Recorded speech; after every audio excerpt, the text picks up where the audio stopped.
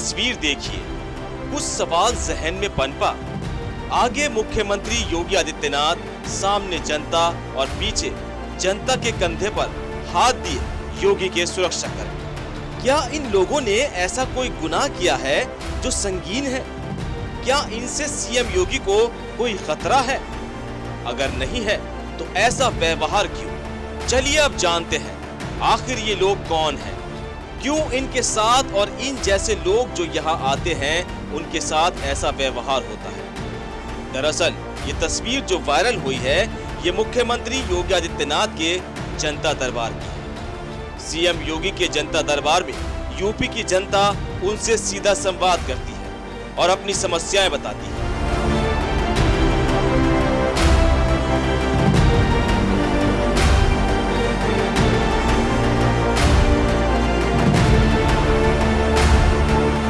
योगी के जनता दरबार में फरियादियों के आने के कुछ नियम हैं। और इस नियम के बाद एक विशेष बात ये भी है कि जब भी सीएम योगी किसी फरियादी के पास आते हैं, तुरंत सुरक्षा कर्मी उस फरियादी के कंधे पर हाथ रखकर खड़े हो जाते हैं। महिला फरियादियों के लिए महिला और पुरुष फरियादियों के कंधे पर हाथ रखने के लिए पुरुष सुरक्षा कर्मी होते हैं। जनता दरबार में फरियादियों के लिए कुर्सियाँ लगाकर लाइन से लोगों को बैठाया जाता है।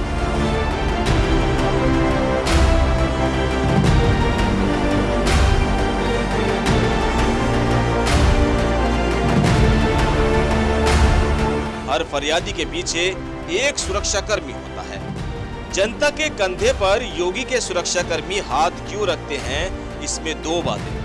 पहले के मुताबिक चूँकि योगी की जेड प्लस सुरक्षा का एक स्तर बढ़ाते हुए सुरक्षा एजेंसियों ने उन्हें सीआईएसएफ कमांडो की टुकड़ी दी है। इस टुकड़ी में कम से कम 25 कमांडो होते हैं। ये टुकड़ी फरियादियों के कंधे पर योगी सुरक्षा के लिए हाथ रखती है, ताकि किसी भी अनहोनी से बचा जा सके। लेकिन सवाल है, क्या ये तरीका सही है?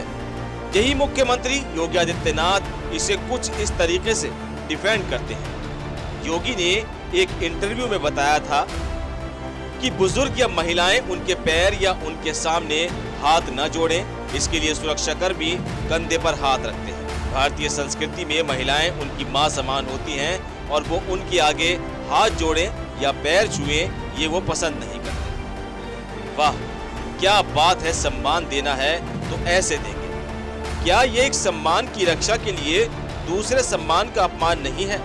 जिस तरीके से सुरक्षा कर्मियों ने कंधे पर हाथ रखा है क्या यही सम्मान है?